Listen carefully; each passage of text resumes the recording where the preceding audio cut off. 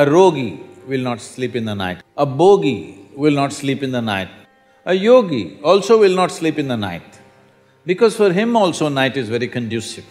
What light does to you is, it makes everything distinct. Suppose lights went off, there is a certain sense of lack of boundaries in the night. So for yoga, for sexuality, for friendship, for being together, for study, for focus, for all these things, night seems to be more conducive.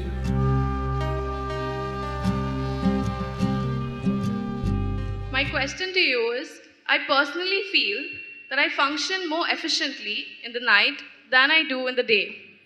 It's not that I've Oh, changed my biological clock or something and I sleep during the day, but it's just that I feel more productive, not only while studying, but otherwise. I feel invigorated in the night. So, why is it so? Maybe Thank you're… you. maybe you're in the wrong country, huh?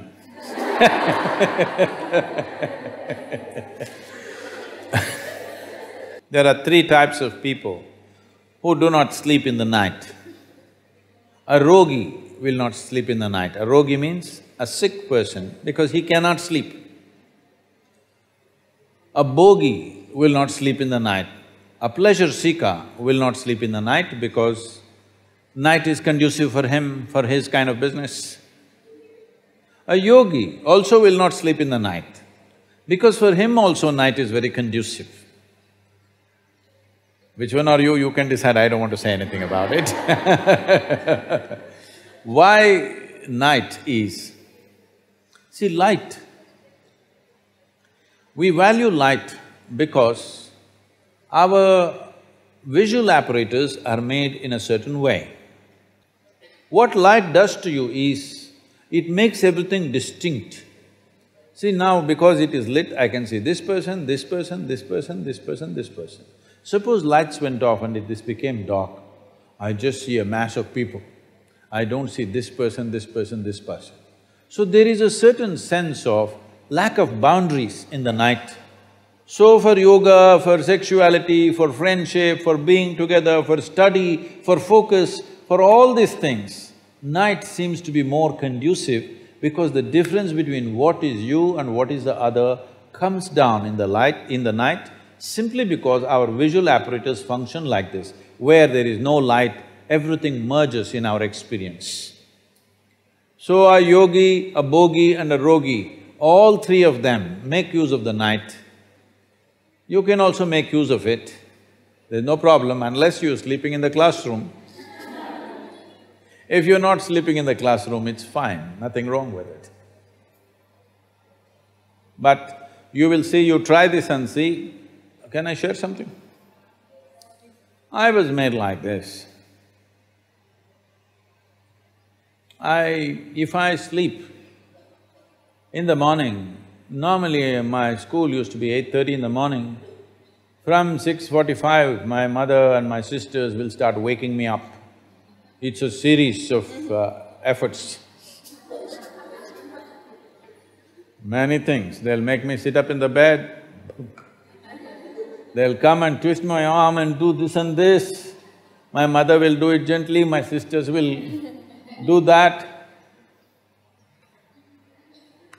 Then they will drag me and my mother will put toothpaste on the toothbrush and give it to me, I'll stick it in my mouth. She'll get me my clothes and say, go and sh- have shower, it's time up, time up. I go inside the bathroom and fall asleep. If nobody wakes me up, till one o'clock, two o'clock in the afternoon, I'll just sleep like a rock, not wake up and roll around, simply dead. But I started practicing yoga at the age of twelve. In about maybe eight to nine months, after that, no matter where I am, even till this day, where I am, which time zone I am, every day I'm in a different time zone. But at three thirty-five, three forty, I just come awake. Because some changes happen in the nature at that time. I… my body just comes awake. If I want, I can get up and do what I want. If I don't want, I can sleep some more, but it always comes awake. So you have to bring some sensitivity into the system that, see, you are a product of this planet, yes or no? Whatever nonsense individuals may think about themselves, we are all just a pop-up from this planet. You've seen those pop-ups on the computer screen? Pop, pop, yes? You're just a pop-up, you'll be gone. You can't believe you will be gone, huh, me? I will be gone? Yes, all the very smart people, countless number of people who walked this planet before and you and me, where the hell are they, huh? Not a sign. All became topsoil, isn't it so? Weren't they pop-ups? Aren't you a pop-up? Poop, poop. You may think you have a great life and this and that. As far as the earth is concerned, it's just recycling its soil. Just throws you up and draws you back, throws you up and draws you back.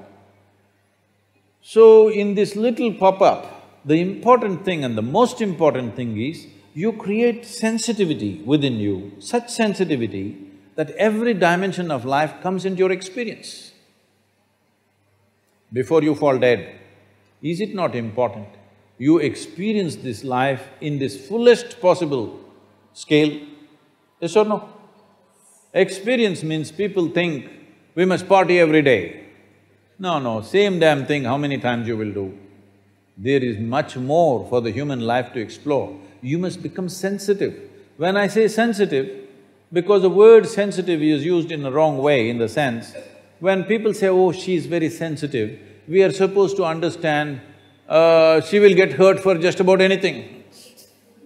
Yes? No, being sensitive to life and being ego-sensitive are two different things. Being sensitive to life means if you walk into this hall, you experience everything that's here, you don't miss a thing. If you walk outside, you don't miss a thing, every dimension of life should come into your experience. This happened. Shankaran Pillai bought a work… Uh, what? He bought a work donkey. And the man who was selling the donkey said, see, this is a very sensitive donkey. You cannot beat this donkey. You cannot use bad words, you cannot abuse this donkey.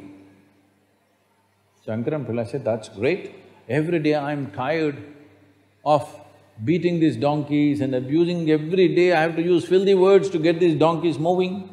I like a sensitive donkey and he played, paid little extra bonus for the sensitivity of the donkey and took it home. He left it in his… in the barn and tomorrow morning he has to go to work. He went there and told the donkey, please let's go. No response. He said, please, let us go. Nothing. He went down on his knees and prayed, nothing. You're not supposed to abuse it, you're not supposed to beat it. Not knowing what to do, he went back to the man who sold the donkey. See, I, I, I requested, I pleaded, I prayed, he's not responding, what am I supposed to do? That man said, is that so, let me see. And he came. He picked up a thick stick like this. One whack on the head. And then he threw the stick and said, come. The donkey followed. Shankaran Pillai got furious, you idiot, you said it's a sensitive donkey and the way you hit this animal, I've never hit an animal like this in my life. He said, no, no, no, he's very sensitive, first you have to get his attention. so, developing sensitivity means, if you simply close your eyes, uh, you must know what phase of moon it is right now, because all this is playing in your body. Every day it is playing in your system. Do you see if it's a full moon or a new moon, the entire ocean is coming up? There are tides, isn't it? You ever been to the ocean side or you don't? You do? There are tides? Yes. The whole ocean is trying to rise. Seventy-two percent of your body is water. You think nothing is rising? It is. For every position of the sun, moon and many things that are happening to the planet, they're happening to you. You must become life-sensitive. Then you will know how to manage every aspect of your life. Don't become ego-sensitive, don't become society-sensitive, life-sensitive if you become. What's happening this, with this life if you know this one thing all the time? You will see, you got your GPS on, there's really no problem, you will never get lost. It doesn't matter who says what, what kind of situations you're put into, you are never ever lost because you're life sensitive. This is all this life needs, that this has to become life-sensitive. Right now, we have developed a psychological structure which has got nothing to do with life, it's got something to do with the social scene, got nothing to do with the life.